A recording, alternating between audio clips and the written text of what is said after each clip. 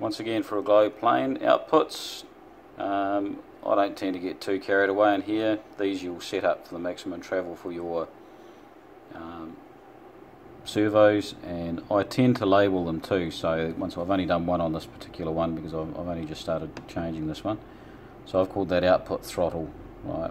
And of course you can see on the top of the screen there on the right hand side you'll see it tells you what each thing does. Now this subtrim subtrim mode does strange things. I've actually most of the time I set that to equals. Um, I've still got to work that out. As I said I'm still learning as well. But if it helps you then that's good. So that's pretty well it for this and of course.